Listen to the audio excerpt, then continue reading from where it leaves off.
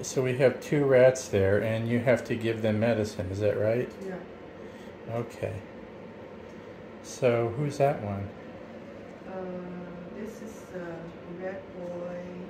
Red boy. All right. So how do you give them the medicine? Yeah. So what? How do you do it? I gotta, you know, keep him calm down and uh, Mm-hmm. This position, put his Mm-hmm. hand here, put the syringe in his mouth. So he doesn't like it. He didn't like it, but he was still taking uh, What is that medicine? spiritual. All right. All right, he took it. Okay. All right. That's a good. Okay. Uh, he doesn't want to go back. He doesn't want to go back. He likes to be on you. Well, that's okay. So you got the other one there now, The huh? other one is of not as cooperative. Uh, uh, okay. So that's White Tips Boy? All right.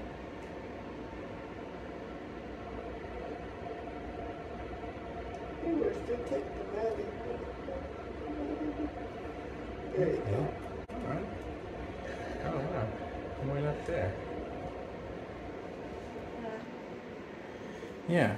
So, okay. Um, so they, so that's actually Baytril. Uh, is that pure Baytril or do you mix Uh, it with some anything? uh, uh, syrup, that? Oh, you have some uh, sy- syrup? What kind of syrup? I can't see it, no. This one you got from uh, Walmart. Oh. On the side. So that's like agave syrup? Yeah. Okay. So you mix Baytril. So, um, and how much Baytril are they getting? Uh, getting zero point one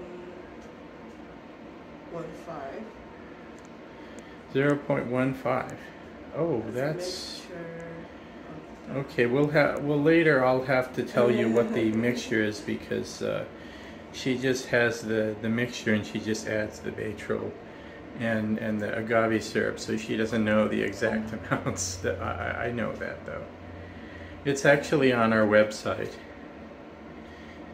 Yeah, so I'll, I'll put the uh, the link, um, you know, uh, in the comments or something. Uh, so.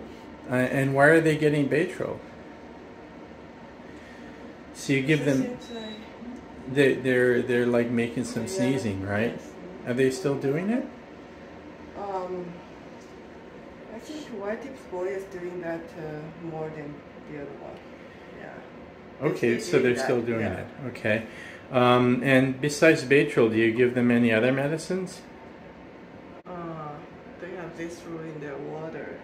And, uh, Zithromax. yeah. Okay. And, uh, And Ambroxol? Ambroxol.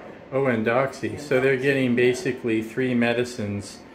Um, and these are really uh, intended for mycoplasma, um, you know, respiratory illness. So we're giving them all three because we want them to get better right away.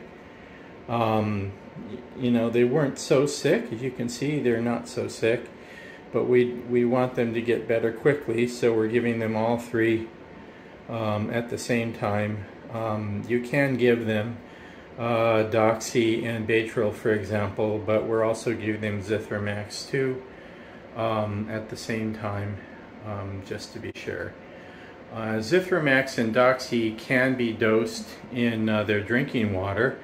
That's why we're giving them Baytril uh, orally, um, you know, with a syringe, because the difference is the half-life. They're really cute, huh? Yeah, we do want them to get better because they're so adorable. So the difference is the difference is really with the half-life of the medicine um, in their blood.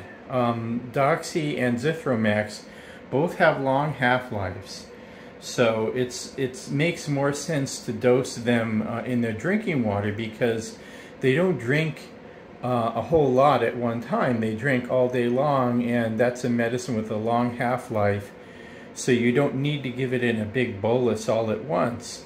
Baytril has a short half-life.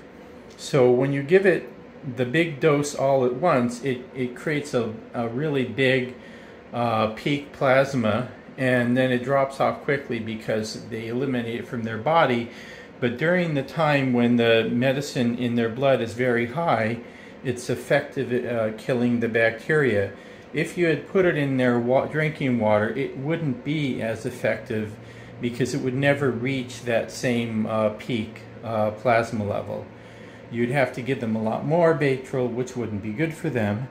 Um, so this is effective at killing the bacteria, um, but not uh, but not causing them as many side effects as it would if you just gave it in the drinking water.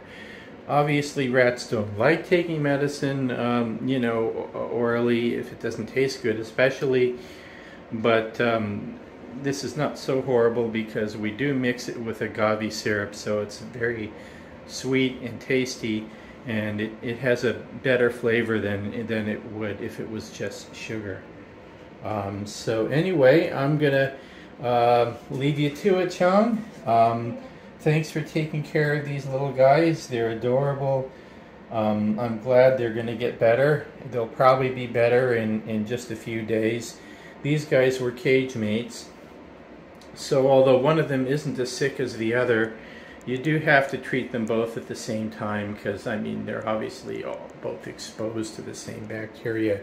Just treating one of them if they're both living in the same cage really doesn't make sense. This is the uh, agave uh, syrup that we're using for the rats.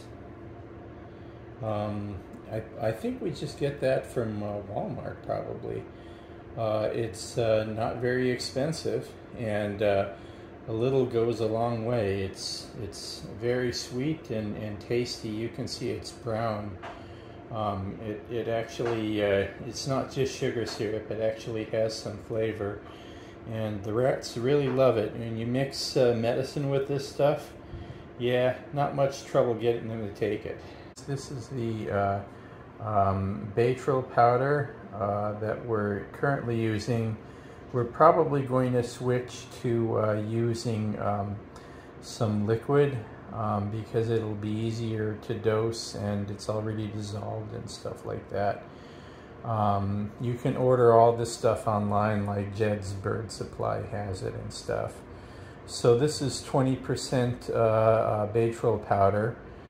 See these little spoons that you can get online. Uh, each of these little spoons, they're, they're 100, they're 0.15 ml uh, spoons and that's about 100 uh, milligrams of uh, the powder per each level scoop. So uh, that 100 milligrams, that means that each level scoop has 20 milligrams of uh, Baytril in it. Uh, so uh, we mix that with, with water um, to make it uh, easier to dose. So do you have the uh, little bottle, Chung?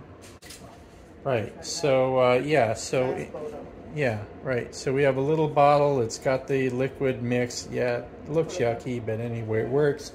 We keep it in the refrigerator. I don't know that you really have to, but we do. We have a refrigerator for medicine here. Um, and uh, that's already pre-mixed. So uh, she just needs to mix it then with the uh, agave syrup prior to giving it by syringe to the rats. And that's how we do that. And uh, we also um, have uh, powdered uh, doxy uh, this one is um, uh, this Doxy Plus. It's actually, I think it's 5% powder, in fact. Um, and, uh, and, this is Ambroxol uh, tablets. And those are 30 milligrams each. And you can get those on our website because it's very hard uh, uh, to purchase that in the U.S. but we have it shipped to us. Yeah, so they've been taking medication for two days, so they're getting better than they was. Yeah. So we'll typically have them on the medicine for about two weeks in total just to make sure.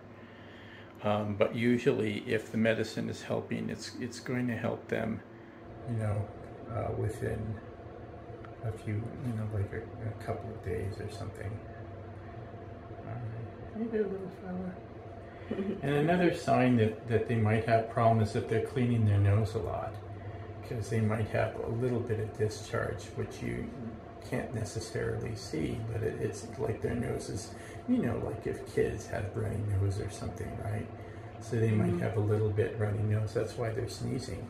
Also looks like they always like uh, sneeze all the time. Yeah, if they're sneezing a lot or making a lot of breathing noise or something, um, that's why we give them. If they are more seriously sick, you can hear they probably have a lot of mucus in their throat, Mhm. like they they have to cough a lot more. Yeah, a lot of like mucusness or something like that. Um, but you don't really want to let it get to that point. So if you see that they're kind of sneezing a lot or making some noise when they're breathing or see cleaning, see, this little guy keeps cleaning his little nose. Yeah. Well, he's cleaned himself. Okay, fair enough. But uh, anyway, but if they do clean their nose a lot, um, that that could be a sign. This is for roof rats. I don't know if that's true for Norway rats. I think Norway rats they tend to have that red discharge. You will not see that with roof rats. So if you're looking for the red discharge, you're not going to see it. Roof rats don't. They do have discharge, but it's clear. Um, I'm not sure why there's that difference, but that is something to be aware of. They, they can have a little bit runny nose or something, you know, like, like a child would have, uh, like a little bit wet nose or something like that. Um, and that means that uh, they're, you know, they've got a little bit of a, a head cold or respiratory, upper respiratory, and that's when you want to treat them if you can. And we give them ambroxol also, um, which is not specific. Uh, it's to bacteria. It's not an antibiotic, but it does help them, uh, you know, get rid of the coughing and the mucus and, and the runny nose and all that that's bothering them.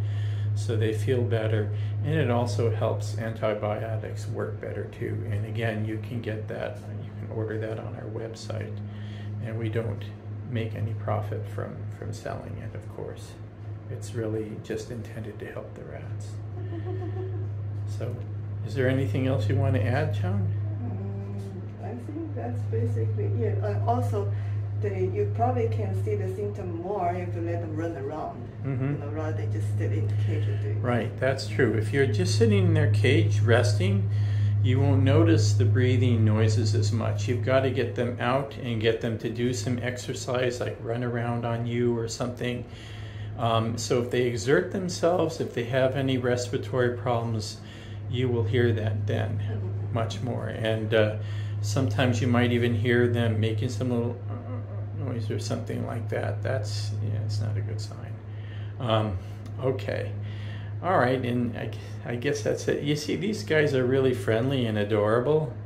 Um, we definitely want them to get better. They're good little rats. Um, so uh, we take it seriously. If any of our rats have any sign of problems, um, they're, right now they're not uncomfortable, they're not suffering, but we want them to get better right away because if you don't treat respiratory problems, it can become chronic and it can you know cause scarring and injury to their lungs and and that's going to be you know like a long-term chronic problem. So if you treat them now when uh, when it's just starting and make sure they get better um, that's the best thing. That's the they will have a, a good outcome and uh, they're going to be completely cured and uh, completely healthy. Okay. That's all Hey there, little fella. Oh, aren't you a cutie? Okay. Yeah. Look at that. He's, see, he's thanking her. He's thanking Mama. Thank you for helping me. Thank you. I love you. Okay. Yeah. Okay.